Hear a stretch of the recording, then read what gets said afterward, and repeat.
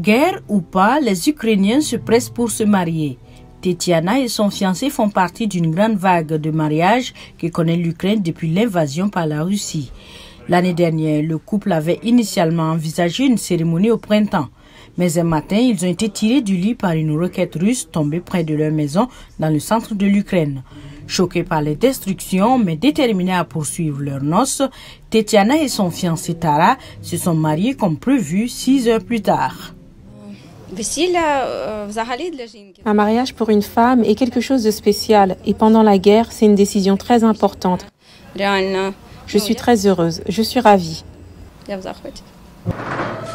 Dans la région de Poltava, on compte 1600 mariages au cours des six premières semaines qui ont suivi l'invasion contre 1300 pour toute l'année 2020.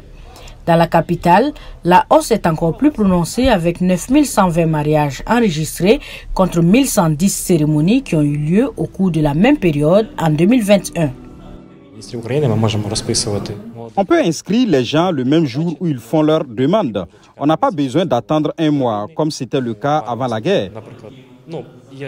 Se marier en ces temps difficiles est très motivant pour les jeunes couples, car ils ne savent pas ce qui va se passer demain. Ils sont prêts à se marier. Daria, 31 ans, professeur de yoga, préparé depuis des semaines son mariage avec Vitali, 30 ans, mais à la veille de la cérémonie, un missile de croisière russe a dévasté la ville, faisant 26 morts, endommageant le bureau des mariages et détruisant son appartement.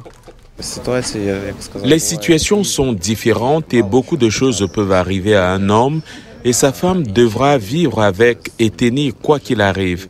Se marier est une étape très difficile pendant la guerre. Vitaly Chiarnik officie des cérémonies de mariage à la chaîne depuis le mois de mars et considère son rôle comme une contribution à l'effort de guerre.